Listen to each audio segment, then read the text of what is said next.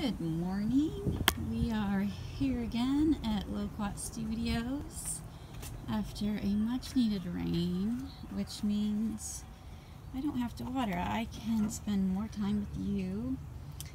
And last night we kind of ran out of light as the sun set, so um, I couldn't finish my box on camera, but as you see, um, I finished it and instead of turning it into a box that just is used to store things, I decided to make a birdhouse.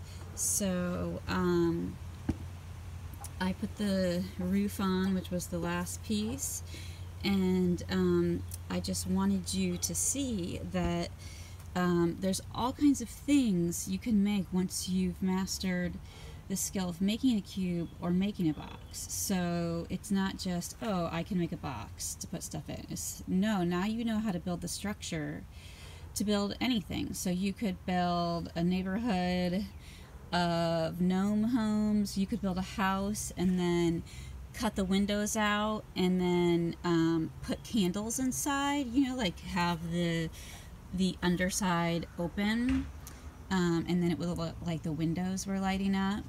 Um, you can do so many things sculpturally and structurally now that you basically know how to build with slabs. Um, so I decided to go ahead instead of making a box for myself to make a home for somebody. So um, the important thing about making a birdhouse is not that you think it's beautiful, but that the birds actually want to live in it. So um, there's different size holes for different species of birds. They all have a preference, right? Because they want to get in, but they don't want their predators to be able to get in. Um, some like a little stick to perch on while they're feeding their babies, and some hate that. They'll pull it out if you keep putting it in. So other um, important things about this home are that the bottom has holes in it, right? So if it rains, you know, and you've got your windows open, you're going to get water in your house. So it needs to drain. You don't ever want it to fill and just soak. A lot of people forget this step, so you always want drainage at the bottom of your birdhouse. It also has to be waterproof. It has to have an actually waterproof roof.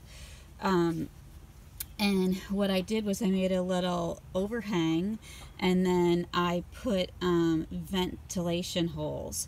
So they'll mostly be protected from the rain, but that way there's a little bit of airflow. I mean, birds are like us. They don't want to be like stuck in some damp, like unventilated area. So they'll be the ultimate um, judges though. We'll see um, if they move in or not. So I made two different um, possibilities for how to hang it. So I thought ahead about what are my needs. Um, and you also want to keep in mind when you're working with clay that it's going to shrink like 15% after it gets fired. So it's hard to be exact, you know. This hole might not be exactly the diameter that I want it to be, but um, you know, we'll see what the birds decide. Um, they're like us. They're going to make do with what they've got, even if it's not perfect. So that is the end of the bot project, end of the box project. And um, share with me your creations and let me know how it went. And I will see you for our next lesson, which will be coil pot making. Bye-bye.